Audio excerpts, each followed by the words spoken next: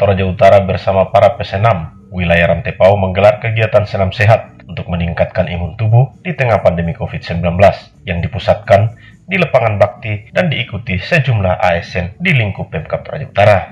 Senam sehat gerakan pemanfaatan sinar matahari untuk mencegah penyebaran COVID-19 dibuka langsung oleh Bupati Toraja Utara, Kalatiku Paembonan, dihadiri Sekretaris Daerah Rederoni.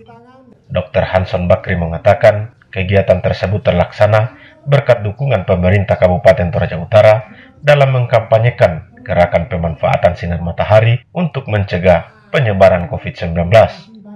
Sementara Bupati Toraja Utara Kalatiku Paimbonan mengatakan senam sehat gerakan pemanfaatan matahari patut diapresiasi dalam rangka membangun budaya masyarakat yang sehat melalui aktivitas olahraga.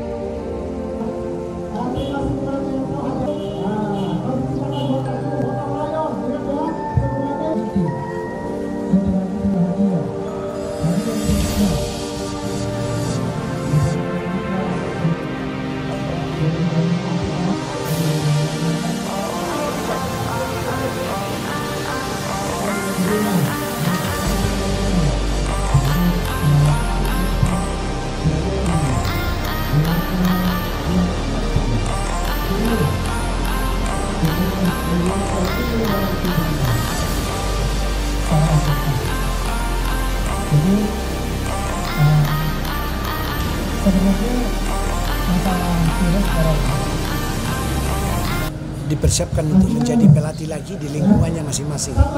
Dan karena itu semuanya merasakan bahwa setelah dilakukan pelatihan ini, itu suasana hati mereka itu itu gembira, uh, segar dan uh, merasa ringan, ringan, ringan dalam melakukan seluruh kegiatan.